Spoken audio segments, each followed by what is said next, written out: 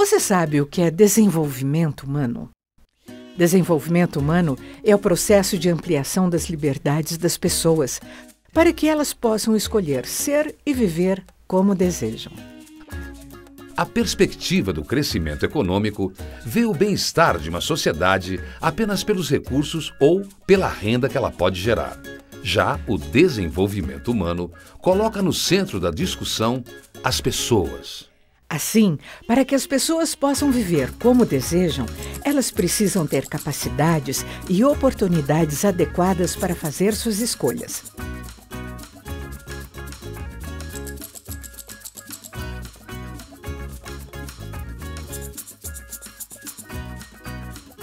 Isso é desenvolvimento humano.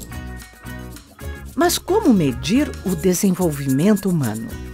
Em 1990, o Programa das Nações Unidas para o Desenvolvimento criou o IDH, o Índice de Desenvolvimento Humano.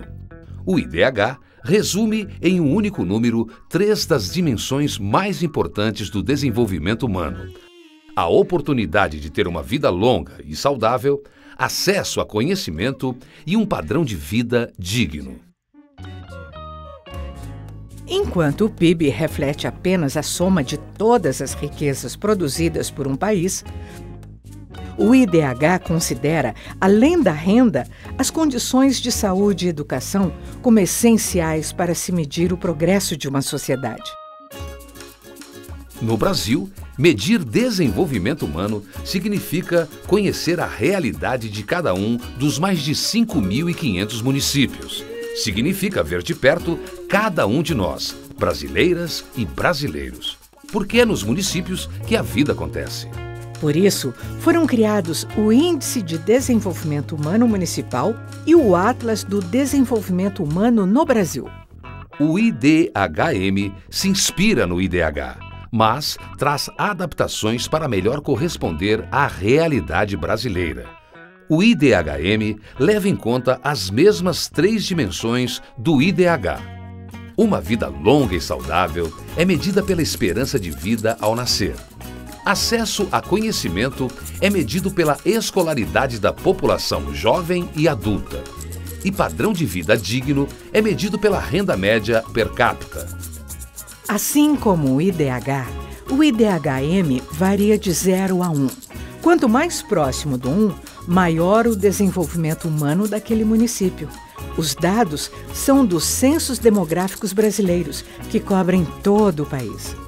Além do IDHM, o Atlas Brasil 2013 traz mais de 180 indicadores socioeconômicos que ampliam a avaliação do desenvolvimento municipal. É possível ver a evolução dos municípios nos últimos 20 anos em educação, saúde, renda, população, demografia, trabalho, habitação e vulnerabilidade social.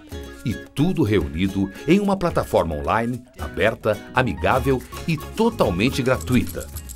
O Atlas democratiza informações e estimula os cidadãos a refletirem sobre a realidade que os cerca fortalecendo as capacidades locais e auxiliando na formulação e condução de políticas públicas.